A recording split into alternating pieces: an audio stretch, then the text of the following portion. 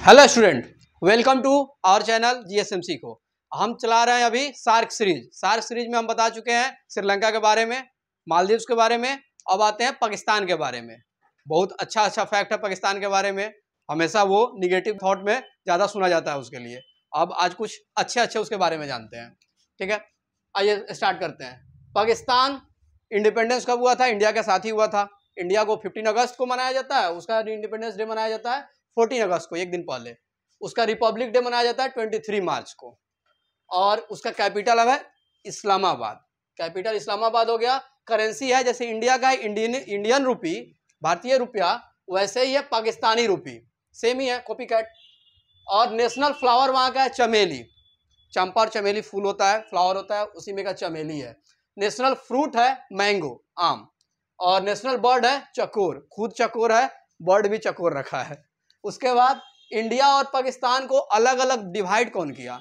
सबसे पहले एक सीरिया रिलेट क्लिप अंग्रेज़ के तरफ़ से आए हुए थे। वो आकर के इंडिया और पाकिस्तान को बांट दिए। तो एक लाइन ड्रॉ कर दिए। वो लाइन इंडिया और पाकिस्तान को अलग करता है। वो लाइन का नाम है सर सीरिया रेड क्लिप ने डिज़ाइन किया, यानी ड्रॉ किया। इसीलिए उसका नाम पड़ गया रेड क्लिप लाइन ठीक है? Radcliffe line boundary between India and Pakistan India के तरफ़ से एक हिमालय जाता है मतलब एक माउंटेन जाता है, जिसका नाम है हिमालय, जो पाकिस्तान और अफ़गानिस्तान के बॉर्डर से एक माउंटेन जाता है, जिसका नाम है हिंदूकुश माउंटेन और एक चाइना के तरफ़ से आता है, जो कुलूनसान माउंटेन है। तीनों माउंटेन एक जगह मिलता है, वहाँ पे बनाता है पामीर नोट। पामीर प्लेटो बनता है, पामीर नोट भी बोला जाता है, यानी गांठ, जो टाई जैसे बनाते हैं, उसी तरह गांठ, पामीर नोट। ये वर्ल्ड का सबसे ऊँचा रूप बोला जाता है। दुनिया का छत बोला जाता है, जो कि है पामीर नोट, जो हिमालय हिंदू कुश और कुलिनसान, तीनों का मिलन पॉइंट है, तीनों एक जगह मिला हुआ है। ठीक है? अब आते हैं कुछ आगे फैक्ट के बारे में। Boundary between India and Pakistan Radcliffe line जो कि बता चुके हैं। देखिए, एक रोड बनाया है चाइना अपने खर्चा से, पाकिस्तान के में इंटर करने के लिए, कोई कोई फोर्स ले जाने के लिए, चाहे कोई भी चीज़ एक्सपोर्ट करने के लिए, ले जाने के लिए रोड बनाया हुआ है। वो है इंडिया का जो पोर्शन जो पाकिस्तान ऑक्युपाई किया हुआ है पीओके वो पीओके से होते हुए गया हुआ है, यानी चाइना पीओके और उसके बाद पाकिस्तान जिसको बोला जाता है सीपीईसी रोड जिसका फुल फॉर्म है China Pakistan economic corridor CPEC China Pakistan economic corridor road वो रोड सीधे का सीधे यहाँ पे ग्वादर पोर्ट से लेकर के और चाइना तक चला गया है। और ग्वादर पोर्ट के बारे में एक और चीज़ फ़ेमस है वर्ल्ड का सबसे डीपेस्ट पोर्ट यानी बंदरगाह सबसे वर्ल्ड का सबसे डीप है, सबसे गहरा है, वो है ग्वादर पोर्ट। ठीक है, वो इधर लिखे होंगे deepest port in the world Gwadar port, विश्व का सबसे गहरा बंदरगाह है। एक और पोर्ट है वहाँ पे, कराची पोर्ट ठीक है, उसके बाद हम देख रहे हैं, देखिए, दुनिया में सबसे पहली बार जब खेती हुआ था ना, वो खेती हुआ था यहीं पाकिस्तान में, पहले था इंडिया, बाद में अब पाकिस्तान हो गया है।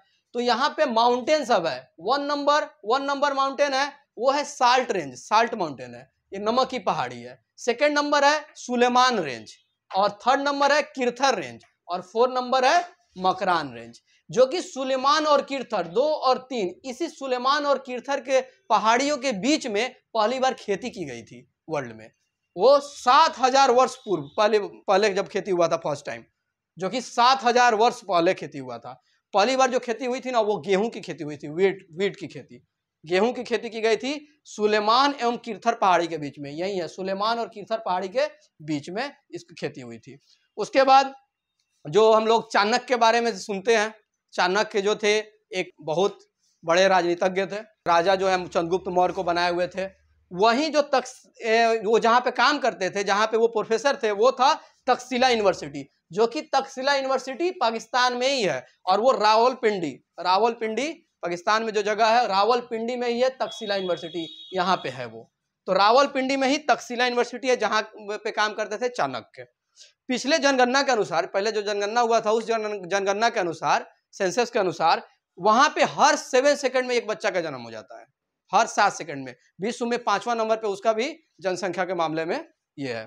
फिफ्थ मोस्ट पॉपुलस कंट्री है ये। पांचवा नंबर पे है वर्ल्ड में, जनसंख्या में। तो यहाँ पे हर सात सेकंड में एक बच्चा का जन्म होता है।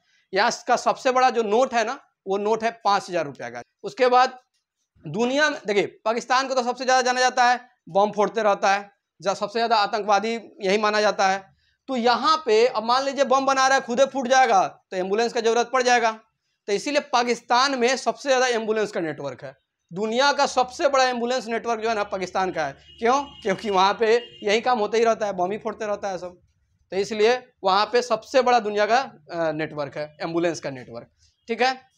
और चलिए आज इतना ही रहने देते हैं, फिर आगे मिलते हैं अगले वीडियो में। अगर वीडियो पसंद आए तो लाइक कीजिए, कमेंट कीजिए एंड शेयर कीजिए। Thank you.